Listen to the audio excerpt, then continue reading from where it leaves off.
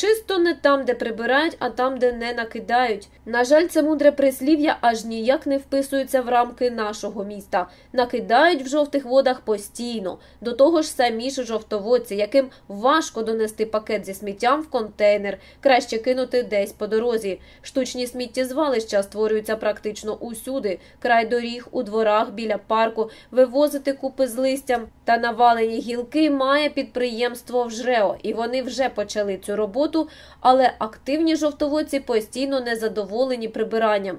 Директор «Вжрео» пояснює, що їх роботи не видно, тому що місто надто засмічене, а техніки для вивозу не вистачає. Міський голова сам вирішує розібратися, чому «Вжрео» прибирає, а сміття залишається. А сколько у вас на ходу вообще прице- тракторов с прицепами, которые могут вывозить мусор?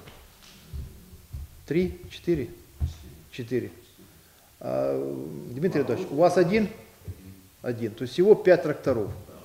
Ходок, ходок всего надо сделать где-то 200 на город вообще, чтобы убрать все. Чуть больше. 150-200 ходок всего, да?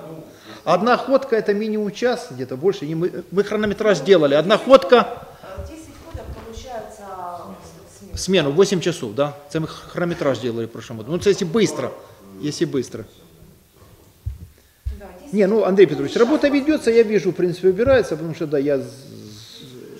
Просто, ну, мусора столько, что это просто, да. Еще раз повторюсь, значит, Яна Алексеевна, давайте договоримся. Тот мусор, который внутри дворов лежит, ну, будем все равно его убирать. Если мы не дождемся от, от ОСББшников плату за это самое, Ян, ну, все равно надо будет вывозить его, потому что... Хотя, еще раз говорю, машина сколько? Мы заплатили 500 гривен, по-моему, за машину вывести мусор.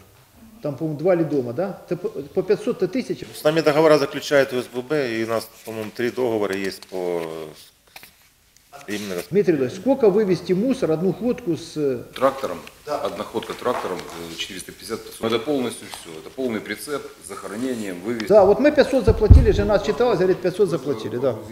За вывоз мусора. Це зрозуміло. Хочеш, щоб було чисто, плати. Хочеш, щоб було світло, плати. Хочеш, щоб була вода, якісна, плати. Але не за якість, бо її дочекатися по нашим трубам неможливо. Вода будет у нас пока что. Буде. А еще все-таки по поводу сетей. Самые древние сети, которые в городе есть, это 50-е года? 40, 45 года. 45-го года? Да, есть сеть, водопроводная сеть, это старого водобуда, которая идет по улице Зеленой и переулку Это Веселого. водопроводная сеть. Водопроводная сеть, да. 45-го года. Да, у нас были ж на водобуде старые очистные сооружения, и вода подавалась оттуда, с водобуда, а потом уже сделали по НФС-4. А вже ж люди платять, а якості дочекатися не можуть. Саме керівництво водоканалу зізнається, що водопровідні мережі вже давно потребують заміни. Але на це, звичайно, потрібні чималі кошти. Чи буде щось робитися в цьому напрямку, покаже час.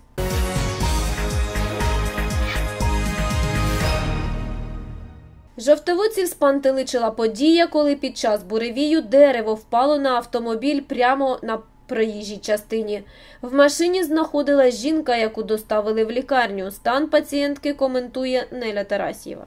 Там особых травм нету, да, там небольшой ушиб, снимок сделали, Тимохин дежурил, я с ним созванивалась, потому что директор школы интересовалась, волновалась очень. Там, ну, она что сказала, что если бы, конечно, сидела сзади, то там провалилась крыша до сидения, то, конечно, это их спасло. А так, в принципе, такого не было. Травмы были, обращалась женщина тоже. Я ко всем хочу еще раз обратиться. Если была какая-то травма, обращайтесь своевременно. ДТП было в Киеве, вот, э, сбила ее машина, там она не обращалась, обратилась уже у нас, там ушиб почки, делаем сегодня УЗИ, смотрим, что там, где там, потому что, ну, кто его знает, что там. Будем смотреть, может там какая-то гематома или что. Э, Обращалась с укусами животных у нас э, человек, трое получают прививки, двое это домашнее животное. И плюс двое детей. Один э, собака укусила, а второй хотел погладить кота, но кот очень серьезно укусил за руку. Тут есть э, проблема кошачьей царапки, то есть мы делаем, кроме того, еще делаем иммуноглобулин. Вот. Ну, продолжается, что погода погода, все равно у нас реанимация занята, все шесть коек заняты, плюс успеваем переводить в э, неврологию, кардиологию. Э, вот на сегодня лежит только в кардиологии 10 инсультов, из них 8 свежих, не говорим о тех, что там рецидивы на повторное лечение. И в реанимации тоже два инсульта, инфаркт. Вот, и, эм, Поступает сейчас, вот сейчас тоже буквально были на планерке вчера, поступают сейчас люди с гипотонией. Не можем разобрать почему, но бывает это, это синдром Телла, но вроде бы нет. И поступает 80-60 давление в стадии клинической смерти. Вот вчера тоже поступала женщина в стадии клинической смерти, э, реанимировали, вроде бы привели в норму, но сейчас опять, в общем-то, дают остановку дыхания вот на этом. То есть есть проблемы, проблемы со здоровьем большие.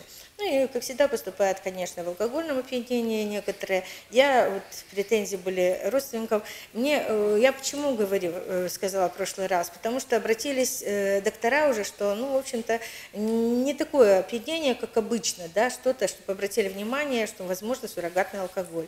Родственники очень обиделись, сказали, что я чуть ли не обозвала отца алкоголиком. Я приношу из, извини, нет, я фамилии не называла, но э, хочется просто обратить внимание на то, что э, мы это все пьем, правильно? На праздники, на поминках и на днях рождения. И выпив даже можно 2-3 рюмочки или даже одну рюмку, если это будет некачественный алкоголь, можно получить очень серьезное отравление.